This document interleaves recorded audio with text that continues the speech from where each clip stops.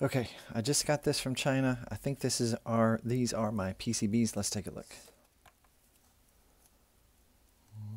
Okay. Those look pretty good to me. Let's go dry fit some items.